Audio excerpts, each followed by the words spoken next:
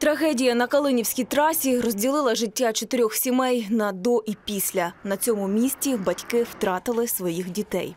Де ці дітей душі, чи тут, чи там біля нас, мені кажуть, що вони кругом тут блукають. На цих фото останній день життя чотирьох друзів хмельничан. Вони разом відпочивають на озерах. Закохана пара готується до одруження. Відмовляли його. Їдь, то в нас є Південний Буг, річка. Ні, папа, там хорошо. І в той час, коли дітей чекали додому, пролунав роковий дзвінок. Смотрю, Лена дзвонить мені. Я включаюсь, сумасшедший крик, що нет дітей. Я говорю, Лен, не може. Вона каже: у наших детей. Серпневий вечір півтора роки тому компанія з чотирьох молодих людей поверталася з відпочинку з Черепашинець. Вони їхали на автомобілі Део. В цей час на цьому місці вилітає на зустрічну смугу автомобіль Мерседес.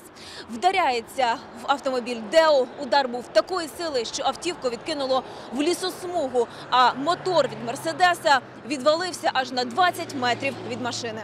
Ці кадри були зроблені одразу після зіткнення. Ми спеціально їх затушували, адже картина вражає навіть людей зі стійкою психікою. Тут рештки машин, шматки скла та людського тіла. В живих нікого. Там коробочка з, мяткою. Водія Мерседеса врятувала подушка безпеки. 38-річний водій Мерседесу, житель міста Києва, госпіталізований з травмами до лікарні. Загрози його життю немає. З того часу батьки загиблих дітей оббивають пороги судів. Вже й не пригадують, скільки було засідань. Ми вже зневірилися в усьому. Це ж скільки часу дітей вже немає, а це все тягнеться. Це просто немає вже сили їздити. В Калинівському суді винуватцю ДТП Олександру Кишканю присудили 9,5 років, але з вироком він не погоджується. Он свою вину не признает. Он считает, что он не виноват, что он болен, что у него двое детей, у него пожилые родители, вот что у него такие травмы.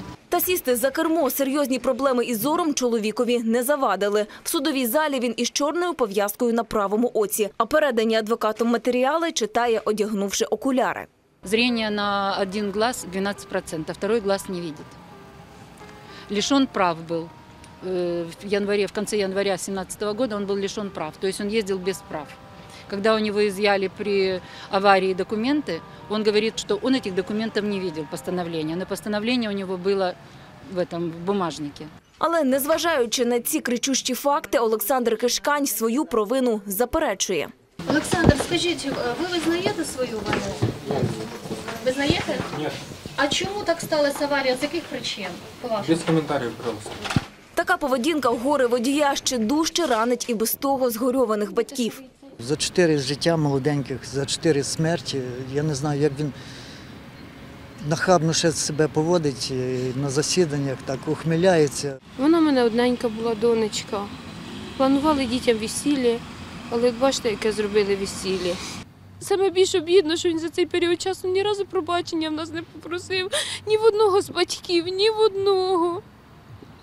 Не покаявся, нічого. Захисники підсудного старанно працюють на результат. Підготували скаргу в апеляційний суд.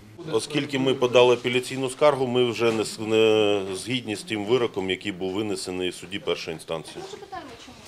Ну там дуже багатий об'єм, 37 сторінок тільки апеляційної скарги, тому ну всіх неможливо пересказати. Батьки дітей бажають одного – справедливості. Втім, результату не дочекались і цього разу.